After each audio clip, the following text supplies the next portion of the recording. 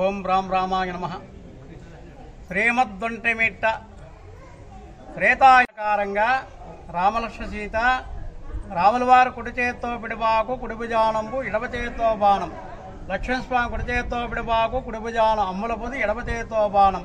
సీతమ్మవారు కమలం పట్టుకొని తండ్రి ఆజ్ఞ ప్రకారంగా రాక్షసార్థం వస్తే ప్రాంతానికి దాహానికే నీరు లేక ముళ్ళంతా కలిసి సీతమ్మవారు ప్రార్థిస్తే సీతమ్మవారు వన్యమృగాలకు పశువృక్షాలకు నీళ్ళలా అని చెప్పి రావుల వారిని అడగా మృదువుగా సీత దప్పికతో ఉన్నది తెలుసుకొని ఆగ్నేయంగా బాణం వేస్తే రామతీర్థము లక్ష్మీతీర్థమని ఏర్పడతాయి.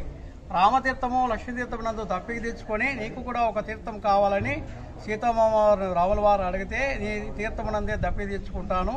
అని దప్పికి తెచ్చుకునే ముగ్గురు వస్తుంటే మునులు ఉండమని కోరితే కలియుగంలో రాక్షసార్థం దొరుకుతుంది అంతవరకు వేచి ఉండండి చెప్పడం జరిగింది. అంతటా అనేక రాత్రులు నిద్రిస్తుండగా ఈ ప్రాంతంలో ముద్రికలు ఏర్పడాయి ముద్రికల్ని ఇక్కడ మునులో పెట్టుకొని పూజ చేస్తుండగా కాలక్రమేణ జాంబవంతుడు హనుమంతుడు నీలుడు పరివారం అంతా వచ్చారు.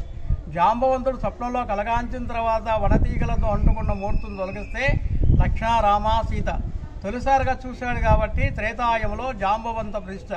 జాంబవంతుడు ప్రాంతానికి వచ్చినప్పుడు దాహానికే నీరు లేక తప్పిస్తుంటే రామతీర్థము లక్ష్మీతీర్థము స్నానమాచరించి రాత్రి ఎందు స్వప్నము కలగాంచిన తర్వాత వనతీగలతో అంటుకున్న మూర్తిని తొలగిస్తే లక్ష్మణ రామ సీత.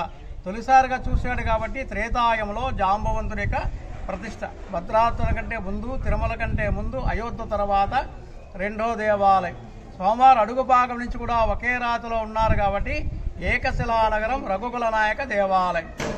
శ్రీమద్దుండమిట్ట ఆదిశేషుడు శ్రీమన్నారాయణుడు వాయుదేవుడు గరుడు ఇలా విజృంభించిన తర్వాత నేనే బలవంతుడు ఆశేషుడు నేనే బలవంతుడు గరుడు నేనే బలవంతుడు వాయుదేవుడు ఇలా ఒకరికొకరు పోట్లాడుకుండే సమయాన శేషుడు పర్వతాలన్నీ చుట్టిన సమయాన ఆదిశేషుడు పర్వతాలని చు- చుట్టిన సమయాన వాయుదేవుడు నా బలమెంతో చూస్తానన్నప్పుడు వాయుదేవుని బలానికి ఒక్కసారిగా ఉక్కిరి బిక్కిరి ఈ ప్రపంచంలో అల్లకూలమవుతుందని చెప్పి ముక్కోటి దేవతలను కూడా మహావిష్ణువు పార్వతీ పరమేశ్వరులు ముక్కోటి దేవతలు సర్వదేవతలు కూడా పంపించి నారదుని సందిగ్ధానం చేయమని అడిగితే అంతటా నారదుడు శేషుని పర్వతాన్నన్నా వదిలిపెట్టయ్యా అని ప్రార్థించగా శేషుడు అక్కడ నుంచి వదిలిపెట్టిన పర్వతమే అక్కడి నుంచి బయలుపడిన మూర్తులే ఏకశలానగర మూర్తులు రఘుకుల నాయక దేవాలయం. కోదండరామస్వామి కాదు రఘుకుల నాయక దేవాలయం.